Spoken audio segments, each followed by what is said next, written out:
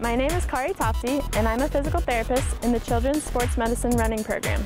Today we're going to talk about finding the proper running shoe.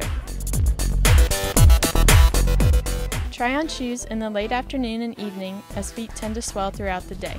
Try on shoes with the type of socks you'll be using during physical activity. The shoe should be one half inch longer than your toe, wide enough for your forefoot, and snug in the heel. It takes about two weeks to break in a new pair of running shoes, so try alternating the old pair with the new pair. Arch height is not a good predictor of what kind of shoe you need. The most important thing is that the shoe is comfortable for you.